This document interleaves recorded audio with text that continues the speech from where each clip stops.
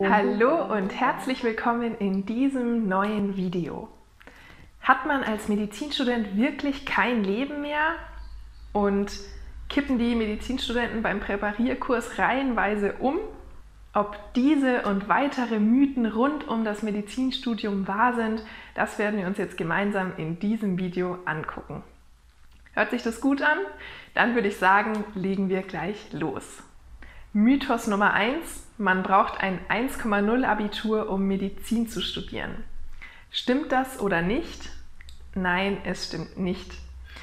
Natürlich ist es sehr von Vorteil, wenn du ein gutes oder möglichst sogar sehr gutes Abitur schreibst, aber du brauchst keine 1,0, um einen Medizinstudienplatz zu bekommen.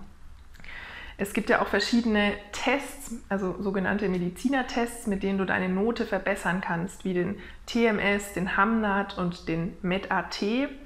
Und wenn du in diesen Tests gut abschneidest, dann kannst du deine Abiturnote rechnerisch verbessern und so deine Chancen auf einen Medizinstudienplatz verbessern. Und ab Sommersemester 2020 gibt es aber ein neues Zulassungsverfahren. Und wenn dich das interessiert, dann schreib es mal in die Kommentare, wenn du dazu Fragen hast oder ähm, wenn wir dazu mal ein extra Video machen sollen, dann lass uns das unten in den Kommentaren wissen. Mythos Nummer zwei man muss ein Überflieger sein, um das Medizinstudium zu schaffen.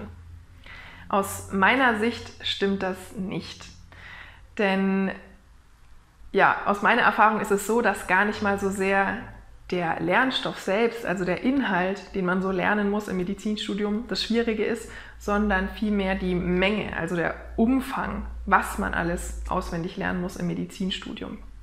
Und da gibt es ja gute Techniken, wie man so viel Lernstoff in kurzer Zeit lernen kann, nämlich die ganzen Gedächtnistechniken, wie zum Beispiel die Gedächtnispaläste bzw. die Loki-Methode. Du kannst dir Merkgeschichten bauen und vieles, vieles mehr. Schau dich dafür auf unserem YouTube-Kanal um, abonniere am besten auch gleich den Kanal. Und wir haben da ganze Playlists dazu erstellt für Gedächtnistechniken im Medizinstudium und wie du diese selbst anwenden kannst. Also da kann man was machen am Lernen selbst und da gibt es eben Techniken, mit denen du schneller und effektiver und langfristiger den Lernstoff behalten kannst. Und wir machen natürlich auch Merkvideos für dich, für den medizinischen Lernstoff. Ähm, wenn dich das interessiert, dann schau vorbei auf www.happyhippocampus.com. Wir haben da Lernpakete zusammengestellt mit Merkvideos zu Biochemie und zu Anatomie und die erleichtern dir das Lernen natürlich auch nochmal ungemein. Und was du natürlich auch machen kannst, ist, dass du dir einfach länger Zeit lässt. Es peitscht dich ja keiner durchs Medizinstudium und sagt, du musst das jetzt in wie viel, 12 oder 13 Semestern schaffen, sondern du kannst dir auch länger Zeit lassen, wenn du merkst, puh, du packst es einfach nicht, diese Stoffmenge in dieser kurzen Zeit zu lernen. Also, meine Antwort auf die Frage nein, du musst kein Überflieger sein, um Medizin zu studieren. Und ganz viele meiner Kommilitonen waren auch Späteinsteiger, die keine Eins vor dem Komma im Abi hatten und die haben das Medizinstudium auch super gemeistert. Mythos Nummer drei: Als Medizinstudent muss man mehr Abstriche machen als andere Studenten. Ist das wahr? Aus meiner Sicht ja. Also ich habe zwar nicht den direkten Vergleich, ich habe nur Medizin studiert, aber aus meiner Sicht hat man einfach sehr viele Pflichtveranstaltungen im Vergleich zu anderen Studiengängen. Es gibt ja Studiengänge, in denen man keine einzige Pflichtveranstaltung hat und das ist im Medizinstudium eben ganz anders. Das ist ziemlich verschult noch. Also man hat viele Pflichtveranstaltungen, bei denen man einfach anwesend sein muss und seine Unterschriften bekommen muss. Und außerdem hat man einfach auch eine riesen Menge an Lernstoff zu lernen, was in anderen Studiengängen jetzt aus meiner Sicht ähm, so nicht der Fall ist. Und deshalb würde ich schon sagen, dass man mehr Abstriche machen muss als Medizinstudent, weil man einfach mehr Pflichtveranstaltungen hat und weil man einfach viel Zeit braucht, um diesen ganzen Lernstoff in seinen Kopf zu bekommen. Mythos Nummer 4. Wenn man Medizin studiert, ist man nur noch am Lernen und hat kein Leben mehr. Stimmt das? Da habe ich ein bisschen überlegt bei der Frage und meine Antwort ist jetzt eher nein. Aber es kommt auch darauf an, in welcher Phase des Studiums man sich befindet. und ähm, wie ehrgeizig und wie ambitioniert man das Studium angeht. Und gerade vor Examina wie vor dem Physikum kann es schon sein, dass es eine sehr, sehr intensive und sehr, sehr stressige Zeit wird, in der man an die eigenen Grenzen kommt und in der man nicht viel Zeit für irgendwas anderes hat. Aber demgegenüber gibt es auch Phasen wie die Semesterferien zum Teil oder ähm, ja, die Phasen während des Semesters selbst, in denen man das Ganze recht entspannt angehen kann. Und deshalb ja, würde ich auch sagen, man hat im Prinzip immer Zeit noch für Hobbys, für Freizeit, ähm, für Sport, für Freunde, also um irgendwas zu machen, was einem gut tut.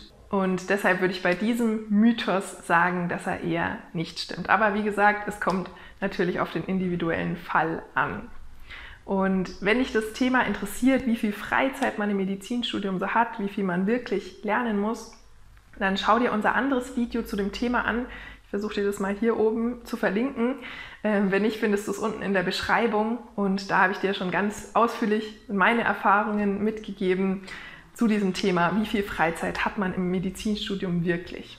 Und auch hier kann man sich das Leben natürlich leichter machen, wenn man mit Hilfe von Gedächtnistechniken lernt, weil das Lernen dann einfach schneller und auch effektiver geht. Das bedeutet, man muss nicht so oft wiederholen und spart sich dadurch einfach Zeit. Also, ich kann es dir wirklich empfehlen, schau mal hier in unseren YouTube-Kanal rein und schau dir da die einzelnen Videos zu den Themen an. Mythos Nummer 5, der sich vor allem bei den Verwandten und Bekannten von Medizinstudenten sehr hartnäckig hält, ist, ein Medizinstudent weiß über alle Krankheiten Bescheid. Stimmt das? Nein.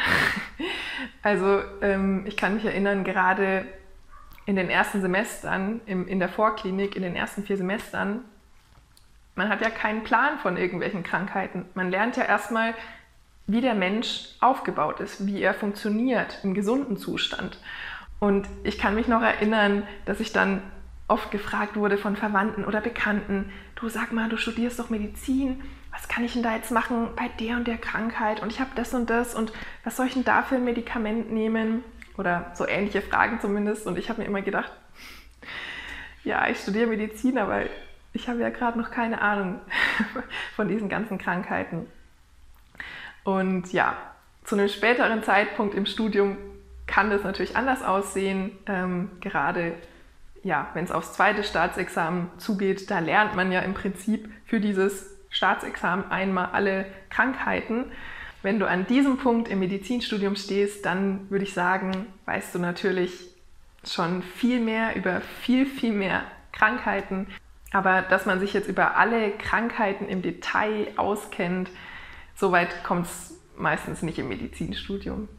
Mythos Nummer 6. Die Studenten kippen beim Präparierkurs reihenweise um. Ist das wahr? Nein, aus meiner Erfahrung nicht. Ähm, klar ist es bei manchen so, dass es beim ersten Mal beim Präparierkurs, dass einem vielleicht ein bisschen mulmig sein kann. Also der Präparierkurs ist ja der Kurs, wo man Leichen präpariert, also menschliche Leichen, ähm, wo man da die einzelnen Schichten abträgt und die einzelnen Strukturen freilegt und präpariert und anhand von diesen Leichen die Anatomie lernt. Und ja, natürlich kann es sein, dass einem da bei den ersten Malen ein bisschen mulmig wird oder vielleicht ein bisschen übel. Ähm, bei mir persönlich war das nicht so richtig der Fall. Ich fand es einfach nur seltsam erstmal, diese neue, ungewohnte Situation da liegt eine menschliche Leiche und jetzt soll ich da auf einmal rumschneiden mit dem Skalpell. Das war seltsam am Anfang. Ähm, man gewöhnt sich dann aber auch recht schnell dran. Das Einzige, was ich jetzt mitbekommen habe ähm, aus meinem Umfeld von meinen Kommilitonen, war, dass einer Kommilitonin beim ersten Präparierkurs ein bisschen übel geworden ist und sie ist dann auch mal rausgegangen an die frische Luft, hat ein bisschen frische Luft geschnappt und dann ähm, war es aber auch wieder gut. Und Genau, also ich persönlich habe aus meinem Umfeld jetzt noch nicht gehört, dass irgendjemand umgekippt wäre beim ähm, Präparierkurs. Kann natürlich aber wahrscheinlich sein, dass das mal passiert. Und ich würde dir auf jeden Fall raten, wenn du deinen Präparierkurs hast und merkst, puh, mir wird irgendwie gerade schlecht, Ähm, versuch nicht irgendwie stark zu sein, sondern ähm, es vielleicht jemanden und geh raus, setz dich draußen irgendwo hin oder schnapp frische Luft und dann wird es in der Regel, denke ich, schnell wieder besser. Und man gewöhnt sich da wirklich total schnell dran an diese Situation und das war dann eigentlich für keinen ein Problem mehr nach, nach den ersten paar Kurstagen. Und last but not least, Mythos Nummer 7. Im klinischen Abschnitt des Medizinstudiums wird alles besser. Ist das wahr? Da konnte ich mich nicht so richtig auf eine Antwort einigen sozusagen. Meistens ist es ja so, dass man am Anfang des klinischen Abschnitts, also so im fünften Semester und im sechsten Semester erstmal so Fächer hat wie Mikrobiologie und Pathologie. Und ja, die sind meistens nicht so beliebt. Mir haben sie jetzt auch nicht so eine riesen Freude gemacht.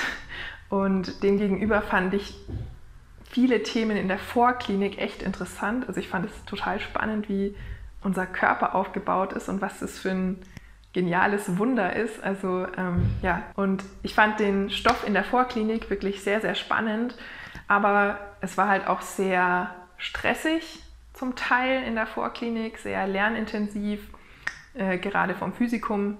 Und das wurde dann in der Klinik insgesamt schon besser, würde ich sagen. Also da waren dann nicht mehr ganz so viele ähm, Praktika und nicht mehr ganz so viele Testate während des Semesters und ähm, ja, es wurde irgendwie entspannter. Und das Lernen war dann auch nicht mehr so kompliziert. Man musste nicht mehr so viel verstehen, sondern eigentlich hauptsächlich auswendig lernen, ähm, was man eben bei welchen Krankheiten so macht. Die Antwort auf diese Frage, die liegt also wohl im Auge des Betrachters. Manche finden die Vorklinik schrecklich, ähm, manche finden sie total interessant und ähm, umgekehrt mit der Klinik. Also ja, würde ich dir vorschlagen, mach dir da dein eigenes Bild, falls du auch Medizin studieren möchtest oder vielleicht schon Medizin studierst. Jetzt würde mich noch interessieren, wie sind deine Ansichten und Erfahrungen zu diesen einzelnen Mythen? Schreib mir das gerne unten in die Kommentare oder als Antwort unter unseren heutigen Instagram-Post. Ja, mich würde es total interessieren, wie du das Ganze siehst und was du so für Erfahrungen gemacht hast. Und schreib mir natürlich auch noch gerne, wenn du noch irgendwelche Fragen hast. Ich wünsche dir jetzt alles Gute und viel Spaß beim Medizinstudium. Mach's gut. Ciao.